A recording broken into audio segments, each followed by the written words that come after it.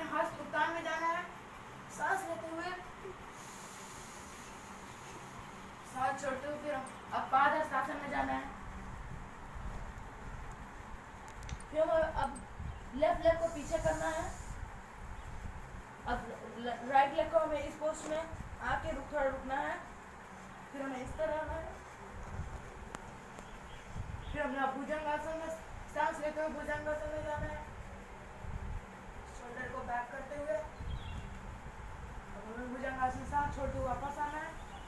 सांस छोड़ते ही हमें पर्वतासन में जाना है। अब हमें लेफ़्ट लेग आगे लेना है और फिर राइट लेग फिर हमें पादस्तासन में आते हुए सांस लेते हुए हस्त उत्तान में जाना है फिर सांस छोड़ते हुए आगे तो अब हमारा अगला योग है धनुरासन जिसके लिए हमें पहले ऐसे लेट जाना है और अपने लग को ऐसे उठाना है लग को उठाने के बाद हमारा जो थंब होता है उसको हमें अच्छे से पकड़ लेना है, दोनों साइड के। तो फिर हमें ऐसे को ऐसे उठाना है। मेरी सांस लेते हुए करना है सांस छोड़ते हुए वापस आना इसको भी हमें टू टाइम्स करना है।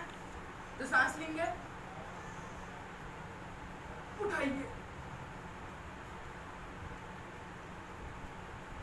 फिर सांस छोड़ते हुए वापस आ जाना तो ये हो गया हमारा धनुरासन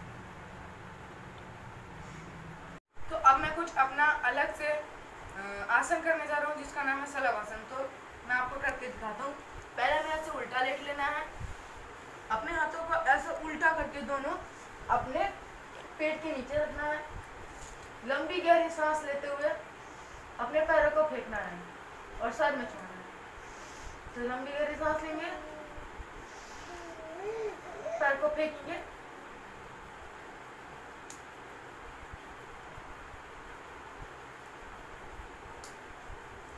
तो ये हो गया हमारा सलवासन। अब हमारा अगला योग है भुजंगासन। तो इसके लिए हमें पहले ऐसे उल्टा लेट जाना है। अपने हाथ को चेस्ट के सामने ऐसे रखना है। सांस लीजिए, सांस लेते हुए अपने शोल्डर को पूरा ऐसे उठाना है। तो सांस लीजिए। अब उठाएँगे। अब से जितना हो सके आप उतना ही उठाइए। फिर सांस छोड़ते हुए हमें वापस आना है।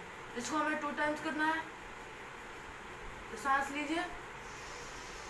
अपने पूरे शोल्डर को ऊपर करना है चेस्ट से अपने शोल्डर को बैक करना है। अब सांस छोड़ते फिर नीचे आ जाइए।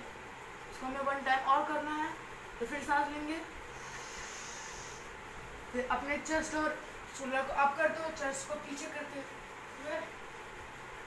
हाँ, सांस छोड़ते फिर नीचे आ जाएँगे तो ये हो गया हमारा भुजंगासन